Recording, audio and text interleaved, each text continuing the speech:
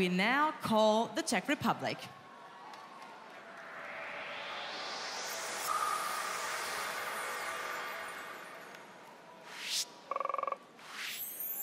Good evening, Daniela in Prague.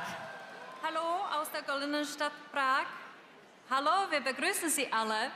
It's very nice to be part of the Eurovision Song Contest. Uh, in our opinion, you succeeded at the idea of building bridges all over the world, even with such a remote country as Australia. But now let's have a look at the Czech results because we are very excited who tonight's winner is going to be. So eight points go to Russia.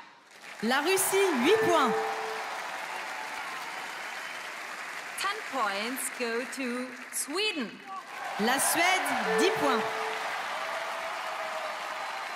And 12 points go to Azerbaijan. Et l'Azerbaïdjan, 12 points. Thank you for your results. Thank you very much. Next